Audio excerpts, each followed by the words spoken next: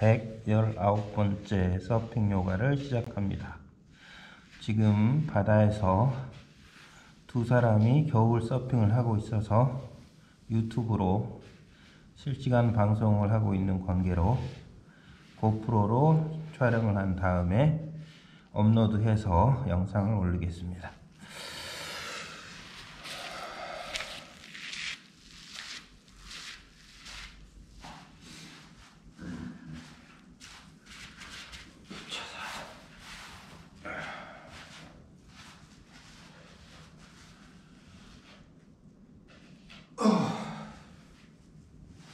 Üç.